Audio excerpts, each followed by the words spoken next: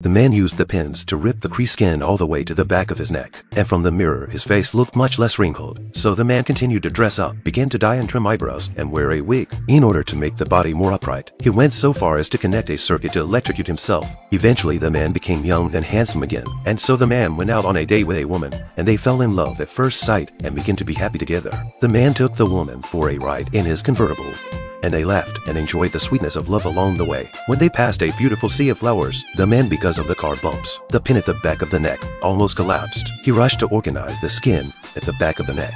At this time, the woman also because of pollen wanted to sneeze. The man wanted to hand over a tissue, but the woman really cannot help but sneeze a big sneeze directly to the windshield of the fake face spray. The woman turned into an old woman, and the man was so shocked that all the pins on the back of his neck fell apart and immediately returned to his original appearance. The two old looked at each other in amazement, and although their appearance had changed, their love had not, so they kissed each other.